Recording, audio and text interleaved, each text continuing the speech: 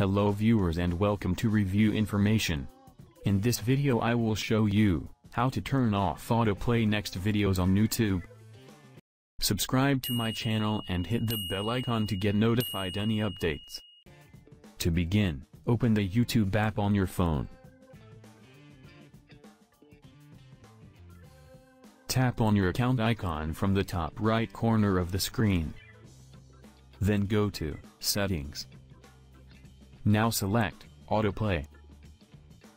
Here you will find Autoplay next video. Simply tap the slider to turn it off. That's it. From now on, when you finish a video, another won't play automatically. So in this way, you can turn off autoplay next videos on YouTube. Thank you for watching. Hope you guys enjoyed my video. Please subscribe my channel for more videos. Goodbye.